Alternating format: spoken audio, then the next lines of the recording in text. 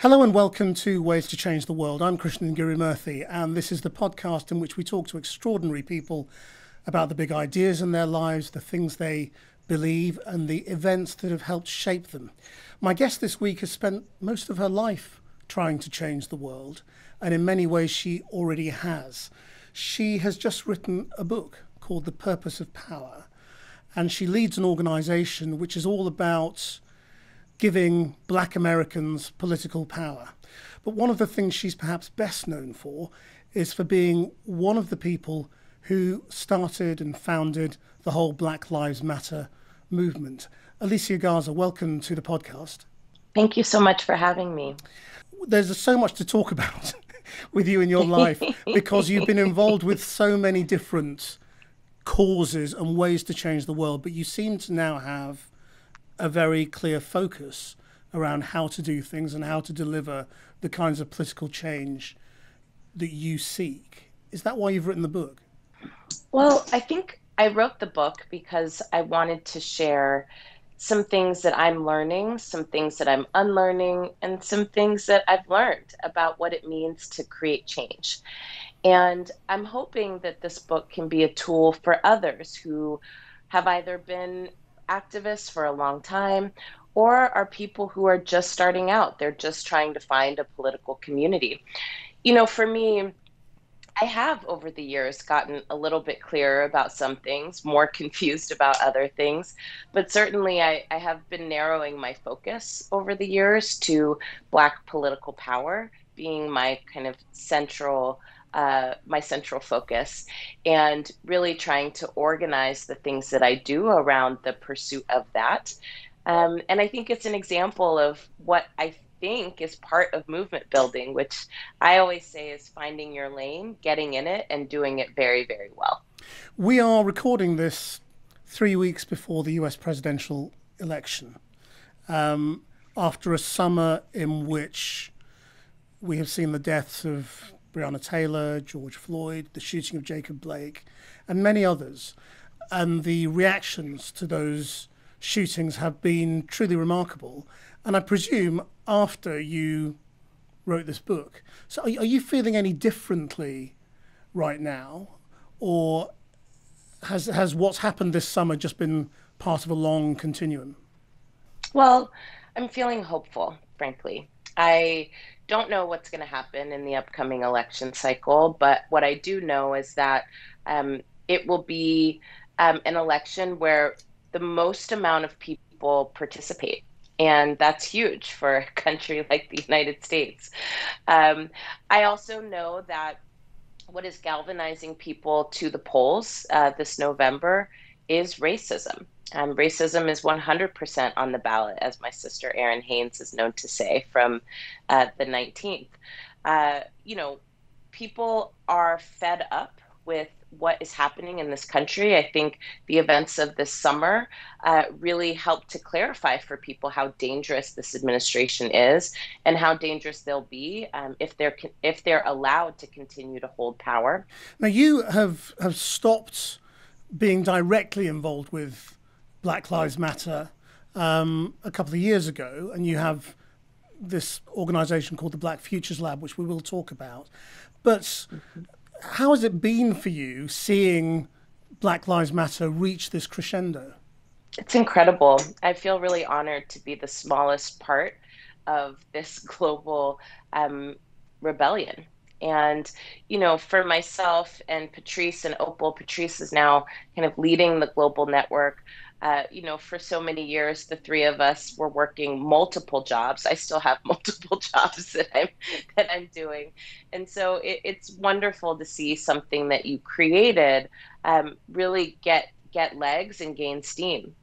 Um, and what I know is that it also motivates me. I, I think that what we've learned over the last seven years is that there is not nearly enough infrastructure uh, that can make Black communities powerful, not just in politics, but in every aspect of our lives. And so I really have spent the last five years or so um, helping to build that infrastructure for and by Black communities. Where do, where do you think it's going, though? I mean, you say that a lot of people are going to vote in this election. How can you be sure? Well, a lot of people will vote. I didn't say who people will vote for, but what I do know is that uh, people are turning out in record numbers, and and the way that I know that is from uh, exit polling from early voting. Um, I also know it because we're talking to Black voters in particular all across the nation, but focused in nine states. And we've been doing uh, voter education work, voter cultivation work, and voter mobilization work for the last year now. So we're in touch with Black voters um, every day, all day. And we've been spending the last uh, couple of weeks actually motivating people to the polls. Um, being a repository for clear and direct and factual information, and then also connecting folks across geographies. I think in this moment where there's an incredible re- uh, reckoning around racism and racial terror and racial violence, uh, it's important for folks to be connected to one another, to know that they're a part of the community that is fighting back. Let, let's go back to childhood, because that's where changing the world began for you, I guess. Um, why did you come out as a child who wanted to make the world a better place? What was it that was driving you? I think it was really um, my mom. You know, I, I grew up for a few years in the first part of my life with a single mother. And she was someone who got pregnant with me and didn't expect to be single when she had me. Um, unfortunately, at that time, her relationship fell apart, but she continued on the journey towards parenthood and she and her twin brother, my uncle, um, went about the task of uh, trying to raise a, a, a, black girl in a world that hates black people. and so, you know, my mom worked many, many jobs. My uncle also worked a couple of jobs, and they alternated. My uncle worked in the evening, my mom worked during the day. And I saw so much of how she struggled to make ends meet. And she always did it with a smile on her face, but I know it wasn't easy for her. And, you know, for me, um, I know that there are many, many Black women across this nation, across this world, who um, are sitting up late at night trying to figure out how to pursue their dreams and also trying to figure out how to make it to the next day. And that certainly motivates me to want to make change. I don't know that I knew that at 12 years old, but I can say that, you know, over time, that's what's kept me um, involved and engaged. You know, also, I'll, I'll just offer here that um, one of the things that motivates me the most is making sure that people have the tools and the resources they need to make the decisions that shape their lives. And so many of us actually um, are having decisions be made about us without us every single day. And that results in sometimes disastrous um, effects. It results in rigged rules, right, that leave our communities out and leave our communities behind. And that's certainly true when it relates to Black communities. And so I think from a very young age, I've understood that um, in order to be powerful in your life, you have to be a part of the rulemaking process, but you also have to have the information the accurate information that you need to be able to make well informed choices on your behalf and on behalf of your family and community. And so I would say from 12 years old all the way up until now, that is the work that I've been doing. Right, but when did you first realize, or when did you have the first conversation with your mother where she explained the way the world was? Um, when, you know, when did you realize that you didn't have the power that you were entitled to, or that America was a racist country? Um, well, I mean, I've had these experiences my whole life. I, I, don't know if my mom ever sat me down and said, "This is the way the world is." You never had the talk. Uh, I mean, we've all had the talk, but that's not the talk that I think inspired me to want to do the work that I do. I will say that, you know, for me, um, growing up for the first part of my life with a single mother, uh, you know, she talked to me a lot about sex and she would say things like sex makes babies and babies are expensive. And that meant in my household, you know, we didn't mince any words about, um, you know, pregnancy, about how to prevent pregnancy, about relationships, intimacy, desire. Um, and that was really profound, I think, for a Black woman to share those experiences with her daughter. Um, given her experiences, um, having you know a relationship that fell apart and um, having to navigate how, having to raise a, a child on her own. Um, those are the kinds of talks that my mom would have with me. But i think for myself when we talk about racial reckonings there's so many that happen in our lives that um, i think that we don't totally see as what we might name it now. So, for example, I remember being in a fifth grade class and uh, my teacher taking my hands and turning the palms of my hands over and saying, "Oh my God, are are all of your palms so light as compared to the rest of your skin?"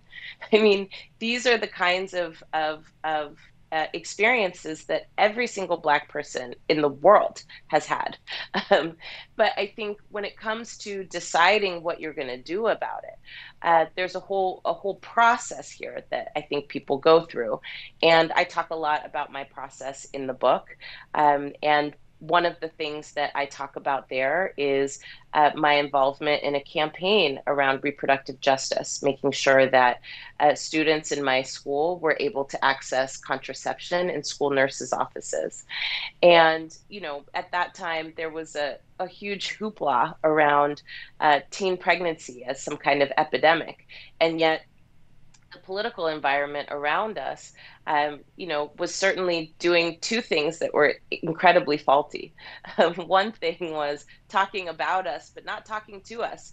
And so everybody's having conversations around young people. Uh, but young people, the fact of the matter is, we're having sex, we're getting bad information, and didn't have the resources or tools that we needed to be safe if we were making those choices.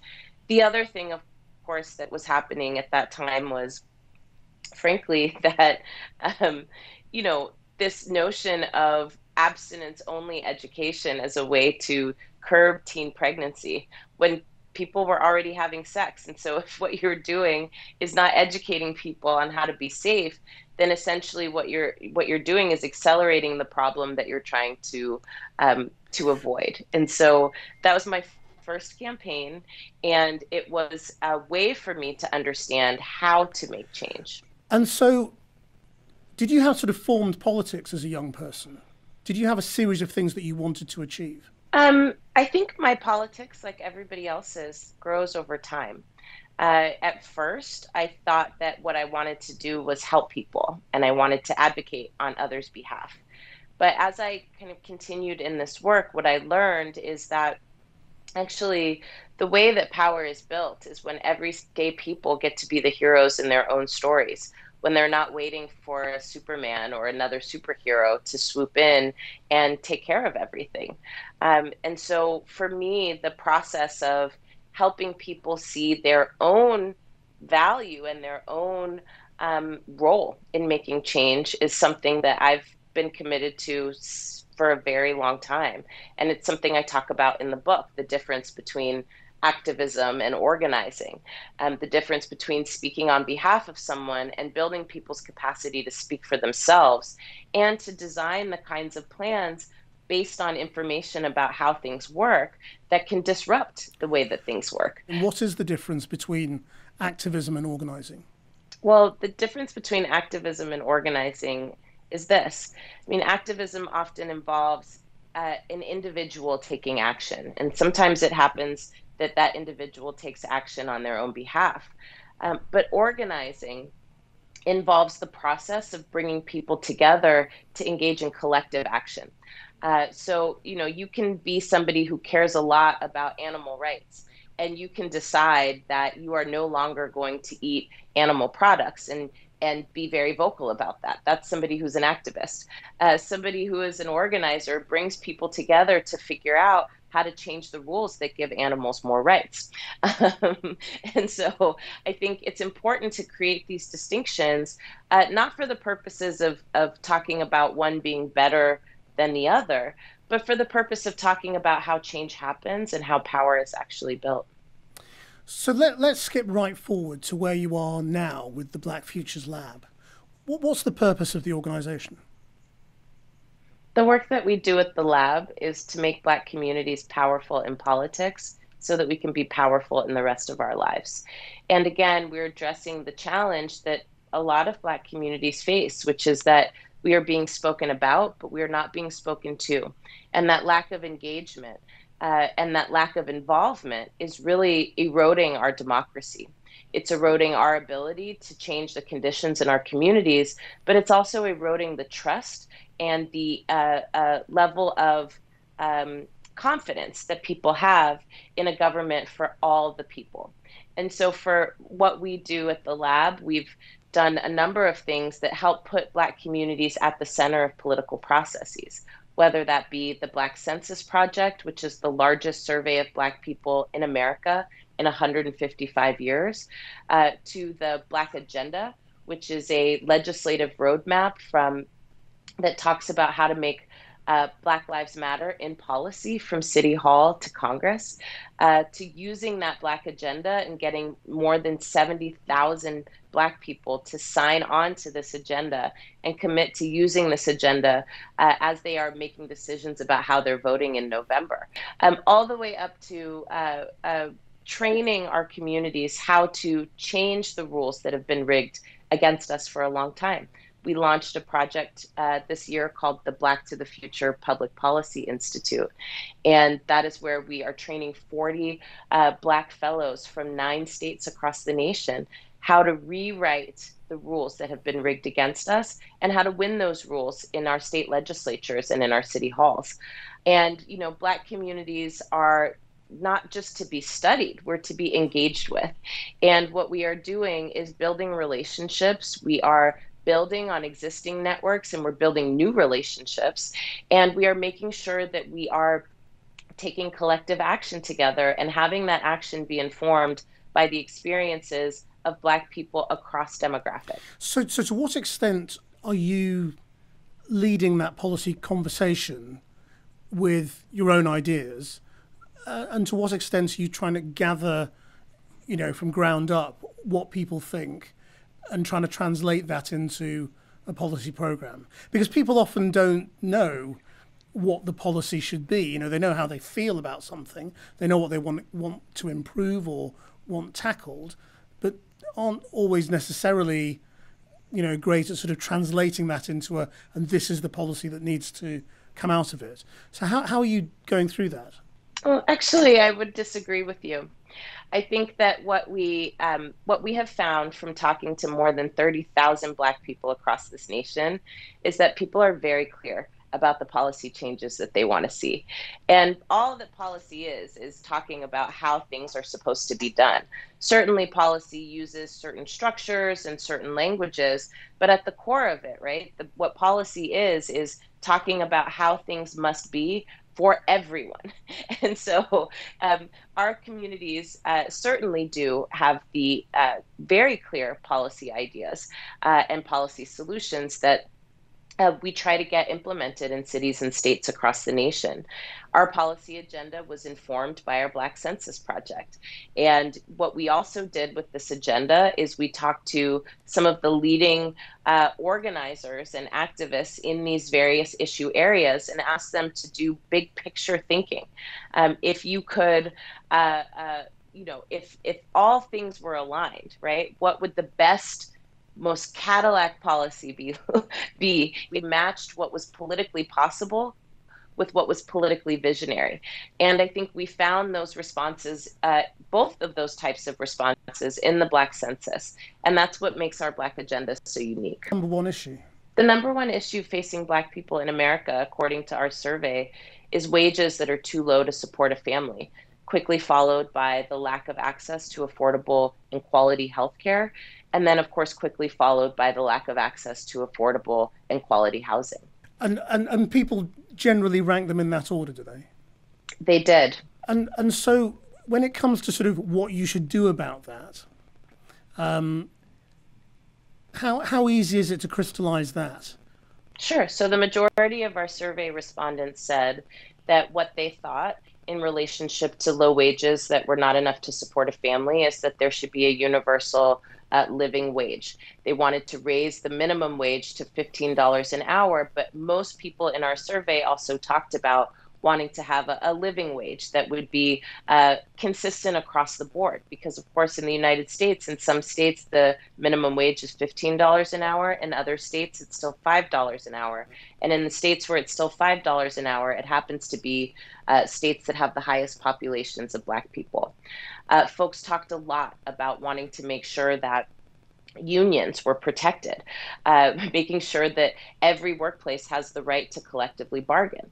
Uh, people talked a lot about eliminating uh, racism and disparities in terms of hiring and in the workplace and strengthening protections that have been rolled back from the federal government and in some cases uh, in state governments uh, around protecting civil rights in the workplace. And there's a whole range of other solutions that people offered here. And folks can find that on our website at www.blacktothefuture.org. You can also find it at blackcensus.org. Is this inevitably a liberal or left wing agenda, or is there a way of making it more bipartisan? Well, what I thought was really fascinating about our survey is that we talked to people across the political spectrum. We talked to people from every single demographic, including political ideology. And so this is not a left wing or liberal agenda. And in fact, if I was to write it myself, it would probably be more radical. What I love about this agenda is that, in fact, it does represent the most common denominator amongst the range of black folks who live in this country and i think that that's an important starting place for political power it's an important starting place for a political agenda to not just um, hang on either side of the aisle, but to really kind of meet where most people agree. Uh, and of course, you know, we have used this agenda to advocate for better legislation um, from City Hall to Congress. We've also uh, advocated for this agenda to be adopted by political parties. And so I think it's important for us um, that we look at the way that we look at our work is. Um, that we understand that Black communities are not a monolith, and we need political programs and political organizations that know that as well. And how successful have you been at getting the Democratic Party to take them up? Somewhat successful. We had some of our uh, Black Agenda items integrated into the party platform this year, uh, which is huge. Uh, we have also had um, lots of legislative level in terms of moving uh, some of our uh, policy recommendations. Uh, so there's also the challenge, though, that both parties frankly, um, have a problem around race and uh, certainly um, have a, a, long way to go to figuring out how to undo uh, the rigged rules that allow racism to persist, even within the political parties themselves.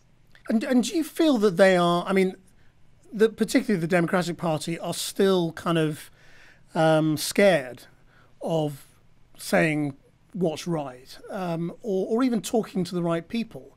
I mean, I, I've just come back from a month in America, and I was in Wisconsin when both Joe Biden and Kamala Harris arrived in Milwaukee and went to Kenosha, um, in Biden's case. Um, and I was really struck by sort of who they were meeting and who they weren't meeting. You know, um, Kamala Harris came into town and met a group of business people and didn't really go to any of the black areas and talk to ordinary black people. And you kind of thought, well, if you're making a big deal of having a black candidate, why isn't she going talking to black people? well, I'll say this. Um, number one, you know, Senator Harris is born and raised in Oakland, where I live. Um, and as somebody who's born and raised here and lived here all my life, I can say that political campaigns are complicated. I can also say that um, Democrats nor Republicans meet the mark when it comes to Black communities. And both parties, frankly, um, take advantage of our community's support. They take advantage of our community's conditions. And so, and I think Black communities relate to both political parties in that same way. I will also say that um, for me, what I think is most important here is um, how Black communities show up and show out. Um, we can't depend on um, we can't depend on allegiance to um, personalities right? We have to depend on allegiance to policy. And what I know is that Senator Harris actually has one of the most progressive records um, in the Senate. Um, even though I have deep criticisms, right, of some of her record on criminal justice reform uh, as it relates to some of the work that she did here in California, um, I think it's an it's um, I think Black communities clearly understand um, who is working in our interests and who is not. Um, and I and what I know is that given the uh, given the vigilante violence that we've been watching all through the country this year, uh, given the ways in which Black communities are holding on by a thread economically, um, I don't think that it's unclear, right, um, where those allegiances lie. I also think that what we have to look at here is that um, governance does need to change and democracy needs to change. And it's something that we've been working on for a very, very long time. And for, for myself, the Black Futures Lab and the Black to the Future Action Fund really represents the best of that. Um, what we are doing is changing the way that decisions are being made. And yes, political campaigns um, are often uh, inundated with the need to raise money, um, and that often gets in the way of legislating. Uh, and that is not limited to Senator Harris or Biden. I think uh, when we look at what ha- is happening with our president right now, I mean, he is literally making money off of being the president. Um, so, you know, there's a wide spectrum of, of, of things that we have to consider here. But ultimately, what we do is we work to build the capacity of Black communities to be powerful in these processes and to not have to wait for somebody else um, to save us, to know that we can use the power of the ballot box to save ourselves. And, and how are you engaging those people who don't really want to engage, or, or are you not trying to persuade them? I mean, you know, do you, do you basically end up engaging with people who are receptive? Or, or if somebody basically says, I'm not really interested, do you try and persuade them to be interested? It's not about persuasion. This is about connecting to people's experiences and connecting to what people want to do to change it. Um, we're not in the business of trying to persuade anybody to do anything. Uh, most of the people that we talk to um, are are experiencing extreme um, disappointment, experiencing extreme disparities, and they are looking for something um, to help change that. And so that is where we come in. But we are not we're not selling anything. We're not a charity. We are an organization that takes the best of our radical imagination and tries to translate that into how our society is organized. But but I mean you must I mean if you're going sort of knocking on doors and talking to people, you know, you must find very differing responses to what you're saying.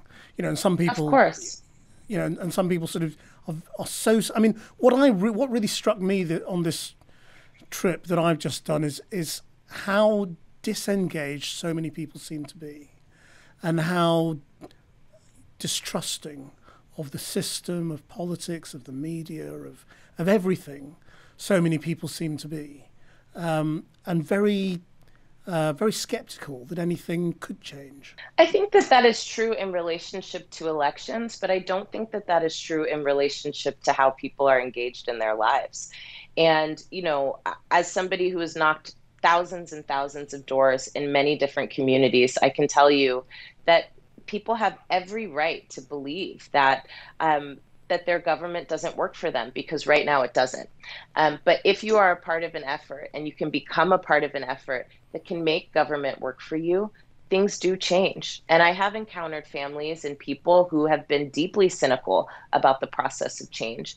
But I also think it's important to understand that that cynicism is disappointment and it's hurt and it is anxiety and it's grief from the things that we've lost. But our job here, if we want to change anything, um, is not to um, uh, uh, leave people where they are.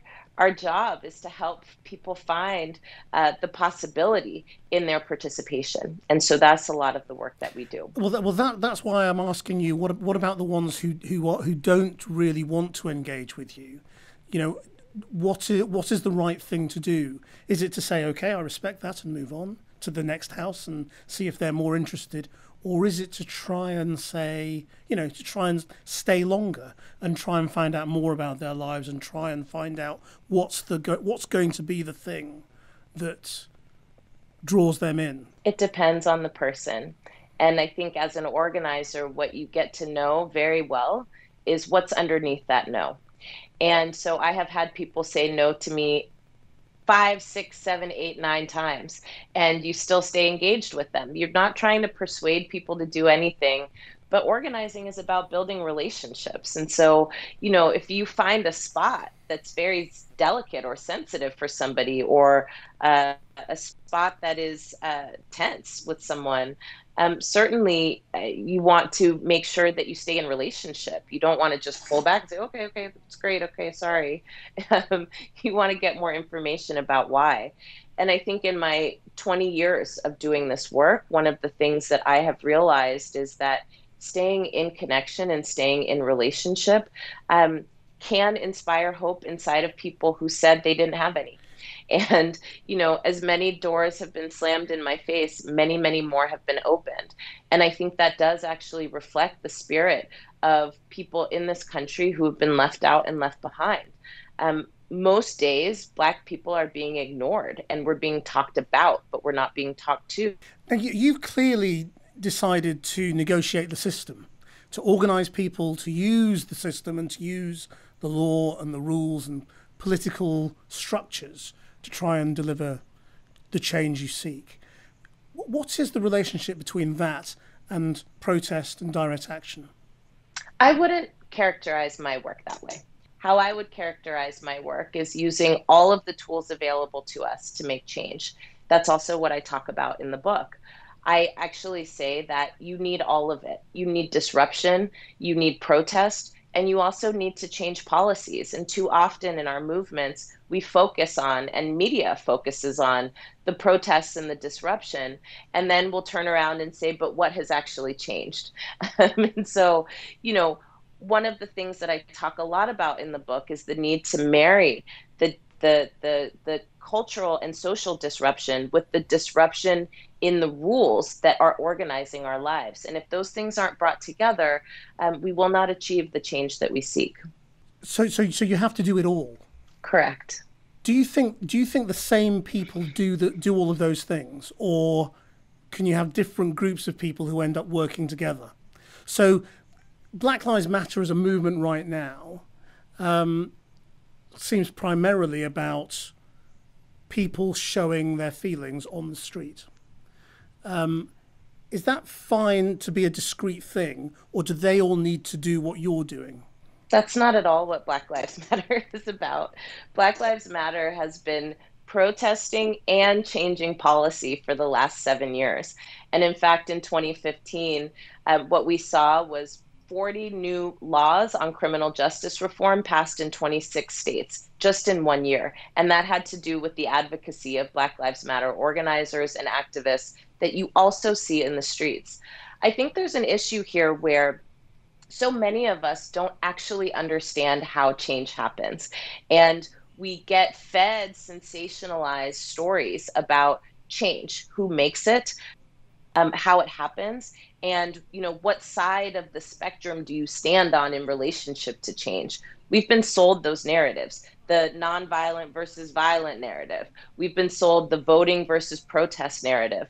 And those narratives were not actually designed by us. They're not designed by our movements. They're designed by spectators who have never participated in movements. And this is why this book is so important is because you get the vantage point of how movements are being built from somebody who's been helping to build them for the last 20 years. I will say that you know, in my from my perspective, um, we have many, many roles that need to be filled, and not everybody needs to play every role. But you do have to find a lane and get in it and do what you're good at and do it really, really well. And then join with other people who are doing the the same thing. Not the same thing that you're doing, but who are also finding their lane and getting in it and performing their role very, very well. Um, I have friends in this work that you know their contribution is art and so they are you know very very talented in um, uh, touching hearts and changing culture. That's a part of movements. I also have friends who um, are policymakers and and lawmakers, and they um, have they share the same vision for Black Lives Matter, and so they're taking that into their work. And um, that's really what movements are, and I and I talk a lot about that in my book. Let's talk about how Black Lives Matter began and what what it became. Um, where did the phrase come from? So I do discuss this in my book. We talk about uh, the fact that Black Lives Matter as a hashtag was started by me, uh, and it came after the acquittal of George Zimmerman in the murder of Trayvon Martin. Uh, it became a series of social media platforms that connect people online in order to take action together offline. And today, Black Lives Matter has dozens of chapters in more than four countries around the world. It is a global movement. There is also the Movement for Black Lives, which is a coalition of more than 150 Black led organizations working together to make Black Lives Matter across the nation and globally. Uh, and it is certainly a global movement. But that, that first hashtag, you wrote Black Lives Matter. I did so what was the what was the sort of the process, if you like, of how that became a ha- you know a hashtag that spread? Well, I think social media allows things to become viral, and we didn't have a strategy to make it viral. Um, it's something that people saw and related to. It got spread through our networks, uh, and it got spread in a moment where people were angry and grieving and rageful. Do you remember what you wanted at that stage? Sure. I mean, what I wanted was two things. Number one, I really wanted to have us tell a different story about what we deserve. Um, so much of what I was seeing at that time was um, felt defeated. Um, and what I wanted, and what I still want, and what I work for every single day, is to make sure that our communities don't feel defeated before we've even fought. And the other thing that I wanted was um, for us to believe, right, that Black people are um, deserving of better, that we deserve to be alive, and that actually it doesn't matter how you look, it doesn't matter how much education you have, that actually your life is sacred and it is your birthright. And, and are you hopeful right now? I am actually very hopeful when I think about how it is that I got here, when I think about the things that I've seen over my lifetime. Um, what I know is that um, the people who have come before me have endured much, much more. And we have a lot of the tools available to us that we need right now to make the change that we need to have happen. And so, um, whatever happens in November, um, we're going to be okay and things are going to be hard, uh, but we're going to be okay. And what I know is important in this moment is making sure that our communities have the things that we need to live well, um, to be engaged, and to be making decisions on our own behalf. And so that's the work we're going to keep doing. And I am feeling hopeful about the spirit and the innovation and the imagination of Black communities. And, and do you think you will go into electoral politics yourself? Is that the logical next step? No, I don't think so. I'm not thinking about that. Why is that? I'm I have a zillion jobs right now. I've just written a book. I'm running an organization building Black political power in Black communities. Uh, I organize on behalf of domestic workers. Uh, I've been organizing women around the election cycle. I have a lot on my plate right now. And, and do you think I'm sort of trying to try and work out sort of you know in the, sort of the, the scale of importance of sort of how you deliver that change. You know, do you think electoral politics is less important now than perhaps we used to think of it? No, not at all. I think that electoral politics is incredibly important, but not for the sake of itself. I mean, electoral politics to me is an opportunity to demonstrate um, how successful you are in winning hearts and minds. And it's an opportunity also to demonstrate what are the majoritarian values of a place. And so that is one piece, as I've said, of change. It is not all the pieces and it is not the only piece, but it does allow us to see more clearly um, how values are or are not shifting in a place at any given time and how that might translate into rulemaking. If you could change the world in any way, wave a magic wand, write a new chapter to a book that comes true, what would you do? I would change how people understand race. Too often we think about race as something that is uh, too bad. We think about race as something that is a shame as opposed to something that is preventable, uh, as opposed to something that is deliberate, um, and as opposed to something that impacts everybody's lives, not just the lives of Black people. And so, if I could change one thing, I would uh, change the way that people understand the way that race and racism functions in order for us to then be able to have real conversations and take real action around how to dismantle it. Alicia Garza, thank you very much indeed for your time. Thanks for Thank sharing you. your ways to change the world and good luck. Thank you so much. You can watch all of these interviews on the Channel 4 News YouTube channel. I hope you'll give us a rating and a review if you enjoyed them. Our producer is Belena Dambelli. Until next time, bye bye.